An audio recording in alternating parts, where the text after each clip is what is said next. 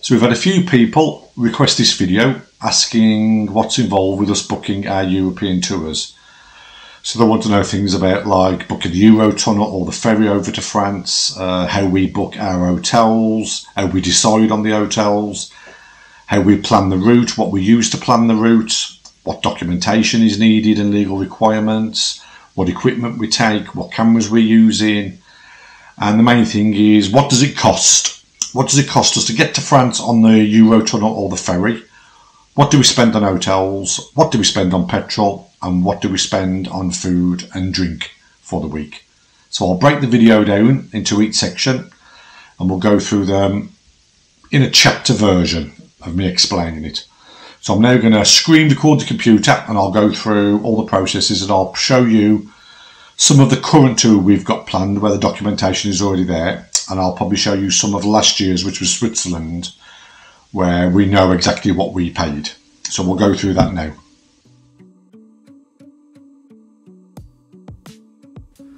So our main summer tour is normally about a week, seven to eight days.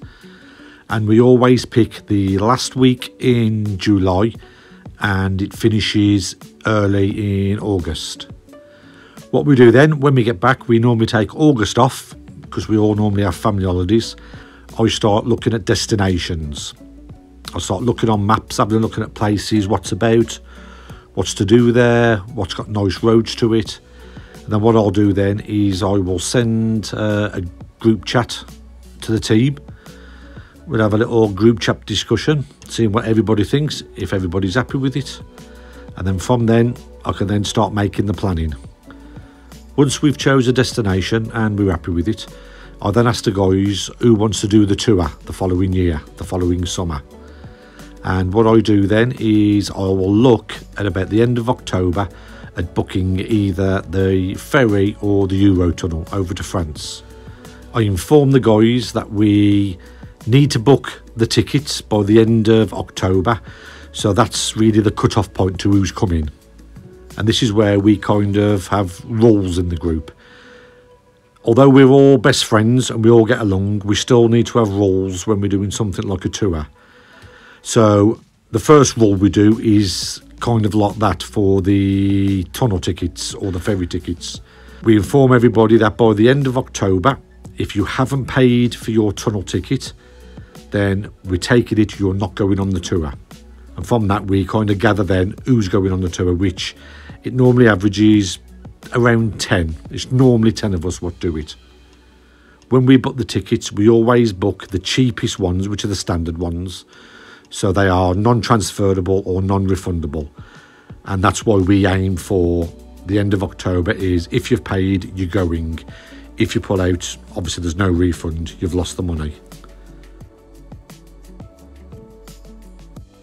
So once we know where we're going and who's going on the tour, what I will do then is I will look at prices for the Eurotunnel and Brittany ferries, just so we can compare the difference. Depending what side of France we are riding through, really determines whether you're going to take the ferry or whether you're going to use the Eurotunnel. So what I'll do, I will pick just a random date for the Eurotunnel and Brittany ferries and we'll just compare the prices. So we're going to pick the dates that we're going to go out on a Friday and we're going to return on the following Friday. And I'll just pick a random date in July so we can compare the price. So the price works out for the Euro tunnel over to France in July is £145 return. So that's there and back. Now, if we use the ferry, Brittany Ferry prices seem to have increased this last few years. So Brittany Ferry, there and back from Portsmouth to Caen, is about £273. So it's only a few pound off, double the price of the Eurotunnel. And then once we've decided which one it is, I will book the Eurotunnel or the ferry. Now, for instance, the Eurotunnel, when you make your booking, you just book the date, put your registration in, say what type of vehicle it is, and then just pay. Once you've made that payment, you will then get an email from the Eurotunnel and you can then fill out the information. So it asks for your name, your date of birth, and this is where it can get a bit tricky when there's a you've got a group going. Such as for us, if we've got 10 going on the team, I'm then relaying back to the team I need your date of birth, your passport number, passport expire date. It can be quite a lengthy process because you'll put a message in the group saying I need this information. Some will reply, some won't, some will miss the message, some will send it two weeks later. I'm then trying to chase it because I'm trying to pay for it, so you have to take things like that into consideration. So for planning the tour and planning the route, I use my route app. I use this because you can use Google Maps View in it, so you can kind of use the maps you're used to. It also allows you to export as a GPX file, which I can then import into my Garmin SatNav. And that just seems to work seamlessly. They work very well together. So what I will do, so let's for example say we are travelling by Eurotunnel and we're going to arrive in Calais. I will then find out what our destination is going to be. So let's just say for now, we are going to Arras in France. I'll then plot from Calais to Arras. I've then got the feature in my route app um, where I can turn off motorways and I can turn off toll roads. Because what we do and what we like is when we go on tour, we do as little motorway as possible. So we only get this one week a year for us to tour together, and we don't want to be doing that on motorways. We want to do that on nice country roads with some nice views. So we pick always non-motorway routes. So I'll pick the route from Calais to Arras. What I will do then, my route app also integrates with Google Street View. So I will go into that option then and I will look at the route and I try and do it with every road we go down. I will pick Street View so I can have a look at the road, see what type of road it is, what type of surface, what type of views we get in. Sometimes I might tweak the route just so we've got better views. It might add a few miles to the trip, but you know, we're there to ride, we're there to enjoy it. And then what I do is I make each day its own route and its own plan. So the second day, if we was then travelling to, let's say, Le Havre, I would then start from Arras, which was our previous night, and same again, I would plan the route over to Le Havre, no motorways, no toll roads. I'll then have a street view look at the road, see what kind of views we got, and I will do that for every day of the tour, and then also on the way back up to Calais.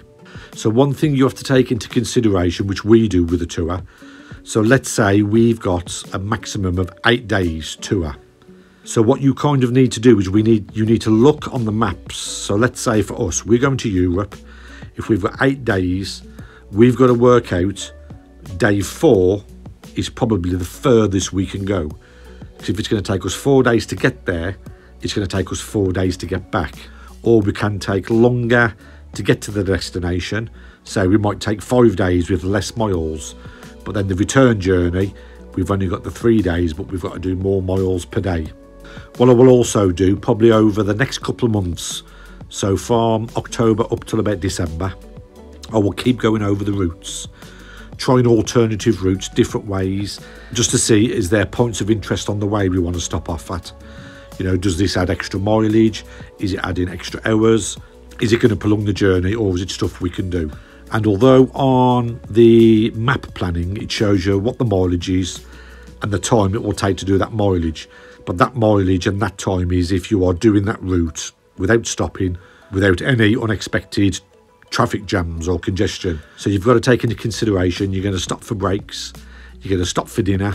If there's 10 of us stopping at a petrol station, that's going to take 20 minutes at least just for us all to get through a petrol station filling up. So you can easily add two to three hours to the day by purely just having a stops, dinner, breaks, filling up, and anything else what might happen along the way.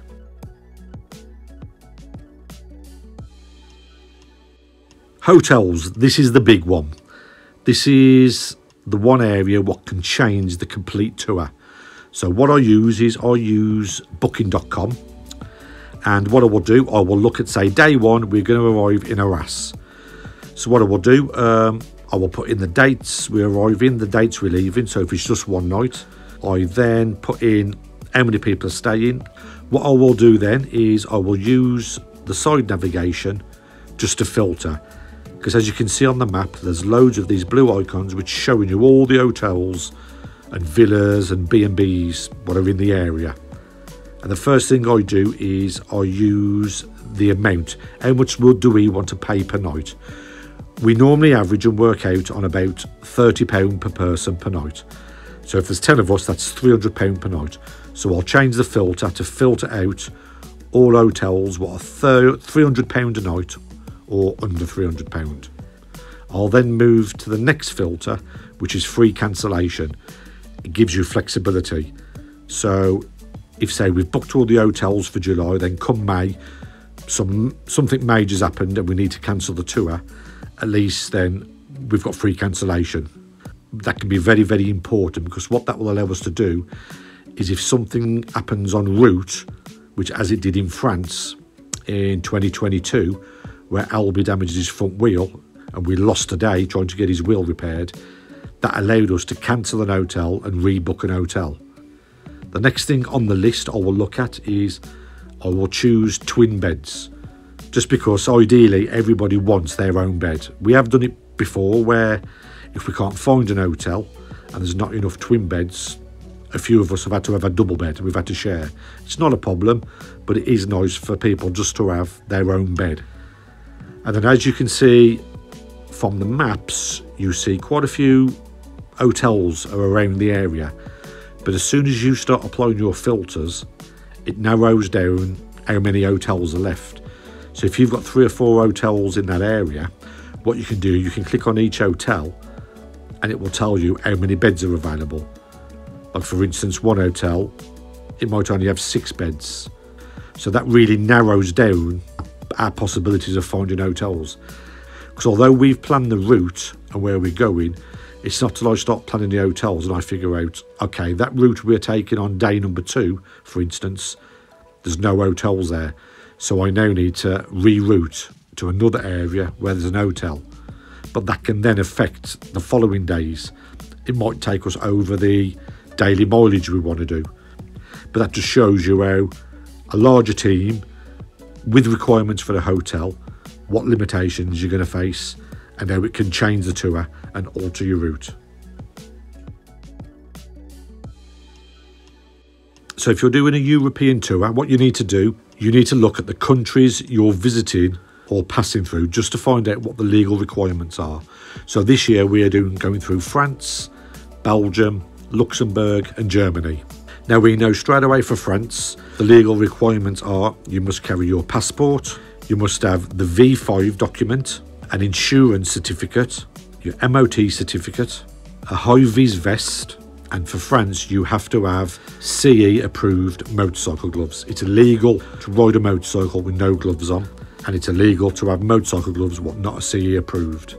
There's a few grey areas with France. There was a rule that uh, France tried to introduce about you would have to add reflective stickers on your helmet, but this got overturned basically by the European law, where they could only say you could only enforce that if the helmet has been purchased in France. You can't enforce that law on something what's outside of, of France, basically. Another one is things like the carrying breathalyzers in France. They made it law that you had to carry a breathalyzer, but they then later on decided there's no prosecution if you don't get one. So that's a bit of an odd one. They say you should have one, but nothing can happen to you if you don't carry one. So we class that as it's it's not necessary. We don't need it. And for the motorcycle, you don't need to carry spare bulbs and you don't need to carry a hazard triangle if you break down. Things you might want to take, which are not legal requirements, which you need European breakdown cover for your motorcycle. You want travel insurance, NHS card, just with your NHS number in case something does happen to you while you're there. For all motorcycles travelling through France, you will require a Crit'Air sticker, and that's for the emission zones. Not all of France has emission zones, but it is a requirement that you have this Crit'Air sticker which displays the emissions classification of your vehicle. But it is worth checking the other countries just to see what other requirements they might have, such as travelling in Switzerland. If you use the motorways, you have to buy a motorway vignette, which we bought when we went to Switzerland, and that was about £39. And we never use a single motorway in Switzerland, so we, we paid for it, but we never used it. And they're non refundable and they're non-transferable. So the filming equipment we take is the majority of us at least have one camera each. Now, for myself, I've got my GoPro on my helmet.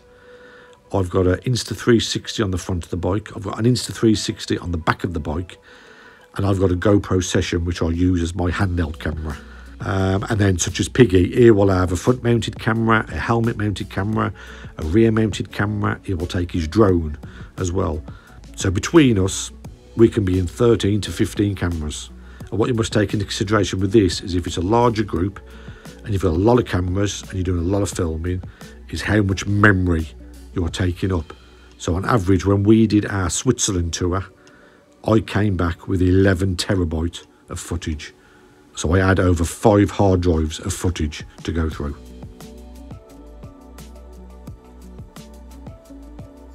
So, the way we work is the lead rider, which is normally myself, I'm the person with a sat nav and who's got all the planned routes on. We try and get somebody in the middle of the group and somebody at the back of the group also to have the routes and plans just in case the team gets broken up or stuck at traffic lights. And the idea of a lead rider is that everybody follows the lead regardless of what happens. So whether you take a wrong turning, if you get lost, everybody's still together. The last thing you need on a tour is for somebody to splinter off from the group, taking their own route, and you've got no idea where they've gone, and you have no idea if something happens to them. So, the way we look at it is whatever happens, we stay together. If we take a wrong turn, we take the wrong turn together. At least that way, we are united as a group.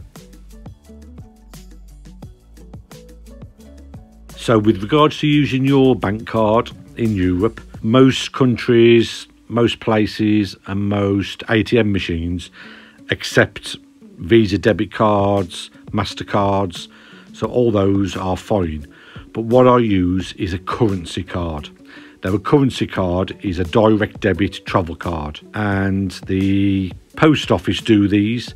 I think there's quite a few other companies out there what make these, but I found the Currensea one is the best one. You can use it in ATM machines and it's free. There's no charge to use it in ATM machines up to £500. And the Currensea card, it on average you save 85% on transaction fees on what you would save on your bank account. So for instance, I'm with Barclays Bank.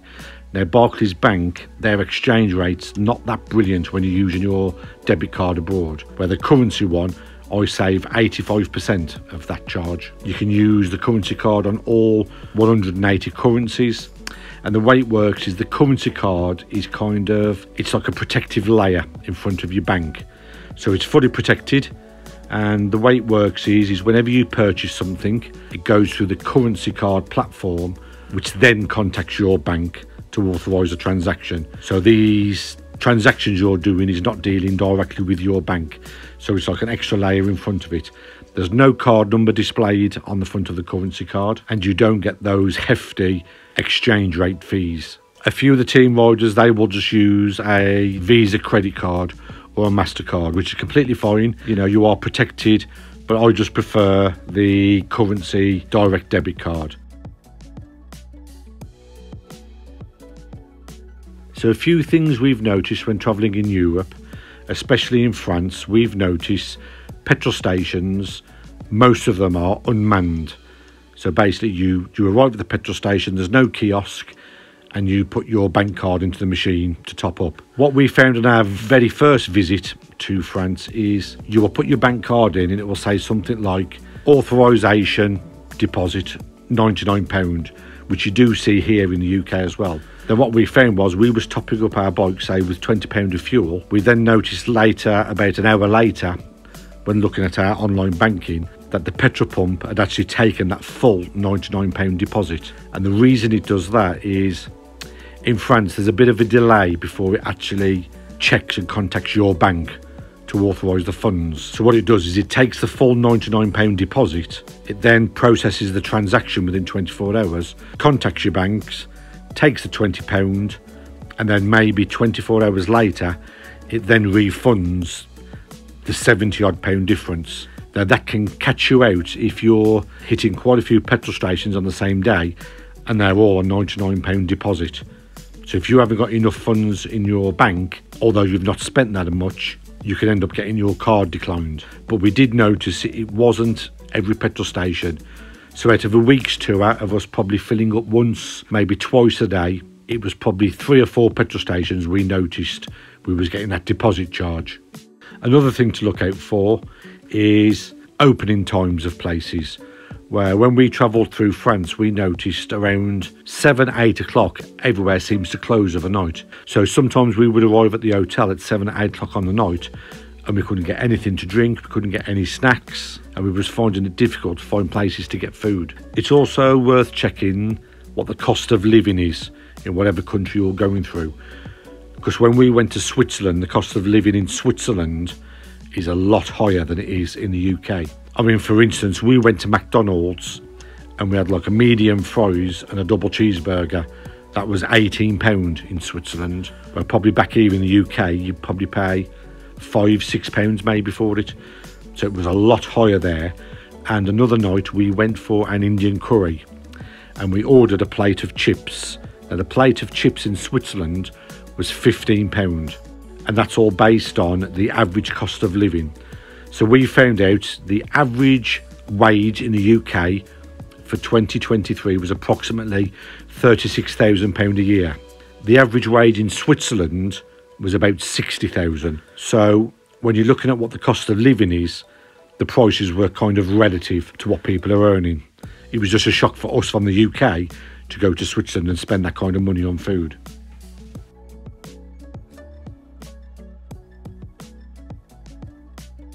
Now, this is a discussion nobody really wants to have, but if you're in a team or a group and you're doing a European tour, it is a discussion you need to have. And you need to discuss what will happen if something happens. So, for example, our scenario, we went to France, we was halfway through the tour. Albie accidentally drove over a raising bollard on the floor, which damaged his wheel. So his bike was unrideable. We had to wait for the bike to get recovered and for it to get repaired. Now you need to have a discussion with your group of what will happen in that scenario where we found out that Albie's bike was going to take nearly two days to get repaired before he's back on the road. What the rest of the group was facing was we hadn't got two days spare or two days to play with. Our hotels for the following three or four days, they were booked, confirmed, and paid so we couldn't cancel them. We, we were struggling to find other hotels with room, and you've also got to understand that people have paid to go on tour.